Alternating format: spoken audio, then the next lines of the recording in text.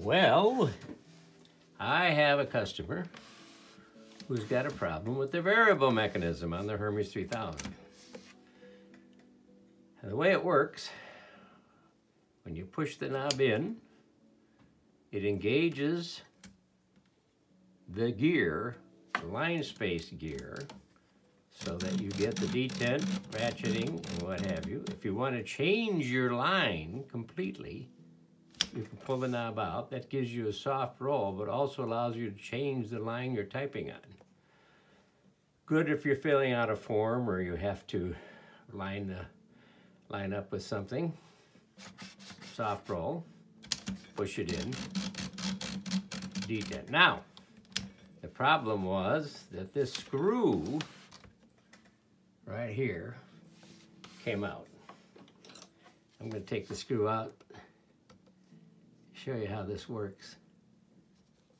It's a little bit tricky on the uh, Hermes, the variable. And the way it works, I have to get the screw out of here first. Trying to do this with the camera running is a little difficult. But we'll see if we can do it. You can see it. This is a special screw. I don't know if you can see this. It has a, a nub on the end of it that is not threaded. I don't know if we can see this properly, but it is not threaded. The reason for that is that it has to go through here and into a notch. There is a notch in the platen shaft. I don't know if you can see this notch right here. That nub goes into that notch. If you tighten it into somewhere around here, obviously nothing will work. It won't move. So it has to be into that notch. And that notch, this is the variable mechanism when this pushes in, this hub is on the platen shaft. When it goes in, there's two springs inside there, little leaf springs, that engage the ratchet. Here's a little better view of it. Now it's freewheeling, but when I push this in,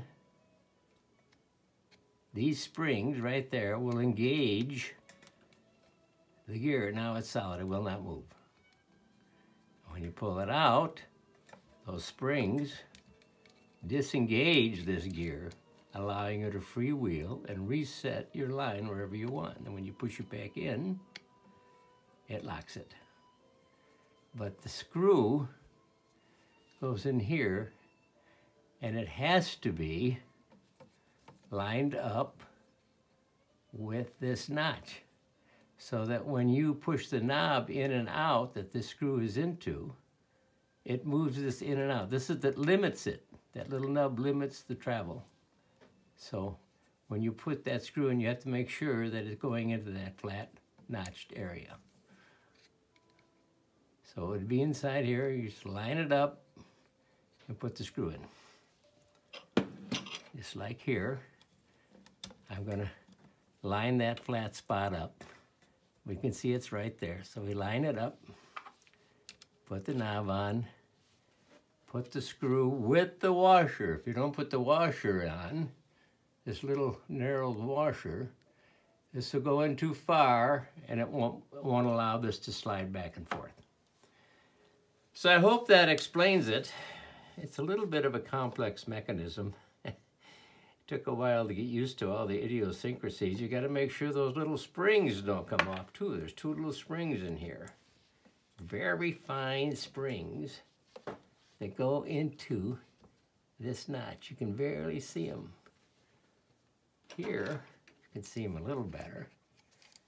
The springs. There's one right there.